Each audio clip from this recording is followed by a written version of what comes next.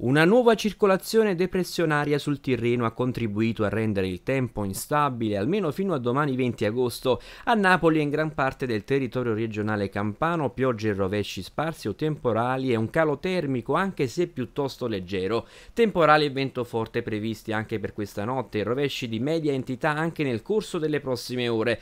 La previsione dice graduale miglioramento dal 21 agosto con il ritorno dell'anticiclone che determinerà tempo stabile e ampiamente soleggiato soleggiato. Le temperature massime in graduale diminuzione fino a 32 gradi. Il maltempo ha presentato il conto a Monte di Procida in via Mercato di Sabato, dove si è aperta una voragine in strada. L'area è stata poi transennata dai carabinieri. Monitorato il verde pubblico e la corretta tenuta delle strutture esposte alle sollecitazioni in queste ore, a renderlo noto la protezione civile della Campania, che fino a domani ha ritenuto di prorogare l'allerta meteo di colore giallo. E al maltempo si aggiungono anche i disagi di altre tipologie. Il centro storico di Napoli, con le sue strade affollate da migliaia di turisti, si è trovato improvvisamente al buio subito dopo il giorno di Ferragosto. Un doppio guasto su linee interrate di media tensione ha lasciato senza energia elettrica le zone di via Duomo e Spaccanapoli, provocando notevoli disagi per residenti e commercianti. È saltata la corrente, ma saltava e veniva, quindi si vedeva che era un fatto di, di centro di falso contatto. Non so che è successo precisamente, so solo che abbiamo perso la corrente a tratti, la più lunga è durata 15 minuti